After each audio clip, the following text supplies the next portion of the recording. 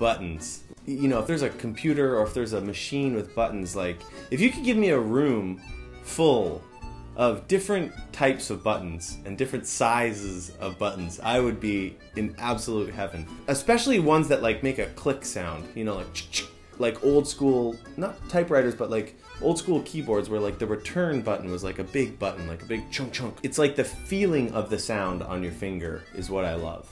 The last button I touched on like that. Well, first of all, whenever I see a contraption that is what does nobody say contraption? Like last time I saw a like a rack, like whether it's a sound gear rack or a film editing, you know, maybe a tape transfer machine. I'll keep conversations going while I'm just like secretly pushing the buttons. I'm definitely easily obsessed with the air at the end of the day. In, in the fall, I used to remember when I would walk home from school and all of a sudden you'd smell everyone's uh, fireplaces going and you'd smell chimneys.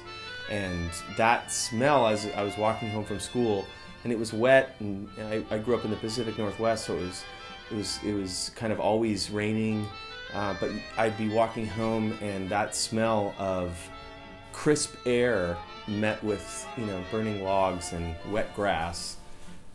That's a sweet that's a sweet spot. And I like to think when I'm out when I'm whenever I'm walking I'm like gosh I should enjoy this more. I should I should enjoy this smell and being out before everyone else is out yet. And I always think to myself why don't I enjoy this more? And yet I'm simultaneously enjoying it. It's like I'm getting hard on myself about not enjoying something, but I'm actually enjoying it. So I don't know why I do that.